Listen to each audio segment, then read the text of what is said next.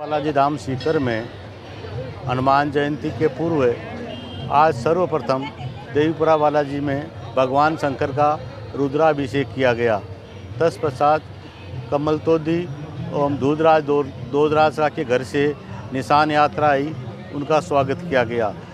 शाम को आठ बजे ज्योति गौतम एंड पार्टी सवाई माधोपुर द्वारा भजन संध्या का आयोजन होगा।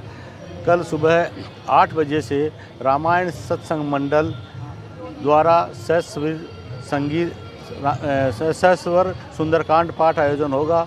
तत्पश्चात दोपहर में हनुमान जन्मोत्सव और महाआरती होगी।